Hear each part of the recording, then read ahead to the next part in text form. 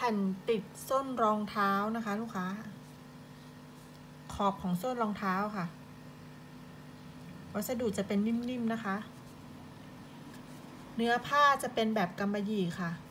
บุด้วยฟองน้ำอัดแน่นข้างในนะคะ สัมผัสจึงนุ่มค่ะ ป้องกันแก้ไขปัญหารองเท้ากัดนะคะ พร้อมส่งสีดำสีเนื้อค่ะ ผ้ามันจะนุ่มมากนะคะ